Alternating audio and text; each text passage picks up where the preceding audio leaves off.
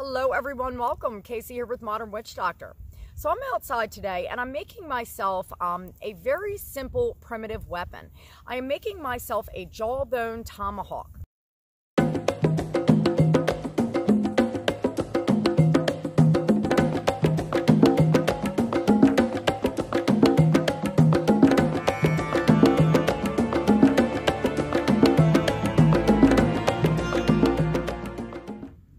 Jawbone tomahawks have been used in North America really for thousands of years. And a lot of people um, think of the, the steel tomahawks or even the stone tomahawks that we think of today. But many tribes actually use these jawbone ones. The reason behind this is very basic. Nature provided a weapon without having to put too much work into it. Now, this type of weapon could have been used for many, many different reasons. Um, hunting, of course, it could be a throwing weapon.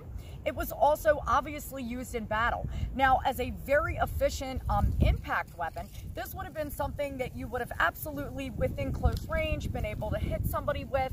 Um, it could also be used in a sickle manner to um, catch or stop somebody. And as you see, most jawbones, depending what animal you're using, have this naturally pointed edge. Um, a lot of natives or, or tribes would file this down. Sometimes there would even be grooves put in this, which could also be used, um, you know, as a large knife. So there's many benefits to this very simple natural weapon as is. What I'm gonna do is add a small little hide handle or something to give myself a better grip. And a lot of these, um, tomahawks in, in history were elaborately decorated. It was a little bit more than a symbol of war. It was a spiritual symbol. It was um, the symbol of the warriors in your colony or your tribe. So a lot of times this was used as an intimidation tactic um, to members of, of uh, rival tribes. If they were in the vicinity, war dances would be performed um, using these in that sense. There is also history to prove that a lot of the medicine people or holy men and women um, use these in a musical sense or in ceremonies. So it is said that they use these much like a rattle. And when, when I tell people that, they think, oh, maybe the teeth shake. That's not the case. What they actually did was they took a stick and would rub it over the teeth.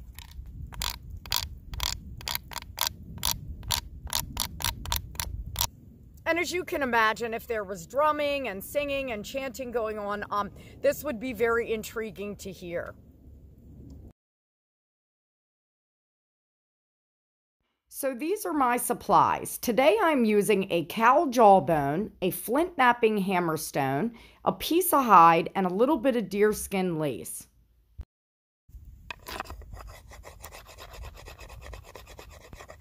I begin by using my hammerstone to file down the exterior of the jawbone.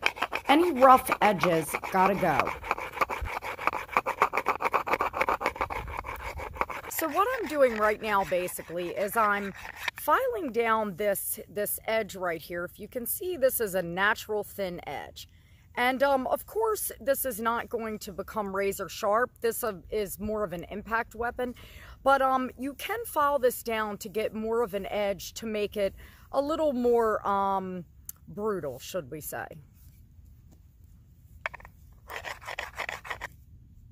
As I move to the handle, I'm basically hammering away any ragged pieces of bone that are sticking out and are jagged.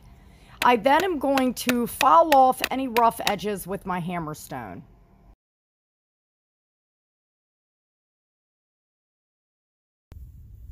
So now that I have filed this down to basically my perfection, because that's really all it's about, um, I'm going to go ahead and make myself the handle. I'm going to go ahead and use this natural hole here in the bone to insert my uh, cordage or my um, hide, and then we're going to start wrapping.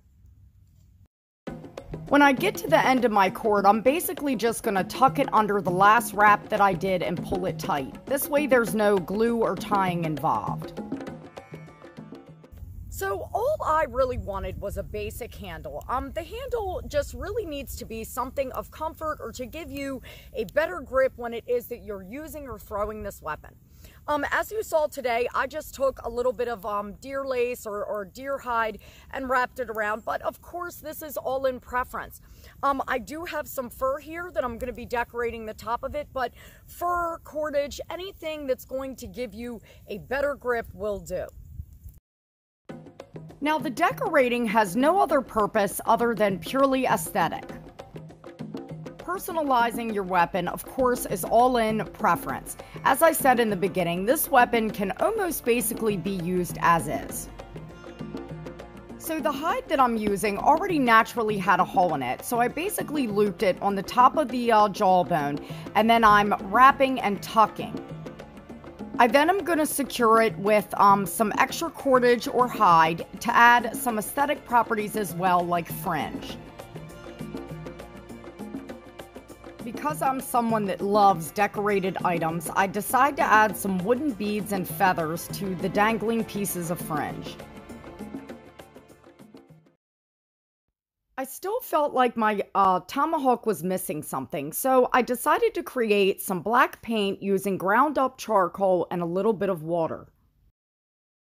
I decorate my tomahawk using primitive symbols such as the four corners or directions, um, geometrics, triangles, and circles. As within historical times, this is all in preference. Whatever you decide to decorate your weapon is all up to you.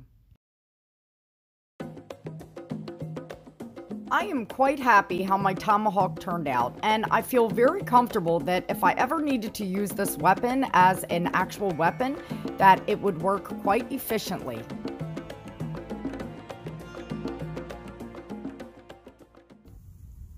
So I hope you guys enjoyed this video. As you see, this is a very simple, primitive weapon to make. Um, obviously, nature provides most of it for you.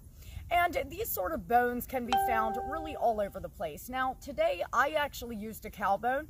And in prehistoric or ancient times, it was usually a buffalo or an elk, anything of decent size that's going to give you that, that weight for impact um, in battle. Now, I'm not so sure, obviously, on its effectiveness with hunting, um, but it's absolutely apparent that during battle or a fight that this absolutely would be an efficient weapon. So till next time, guys, stay wild. For more primitive skills and witch doctor craziness, like and subscribe.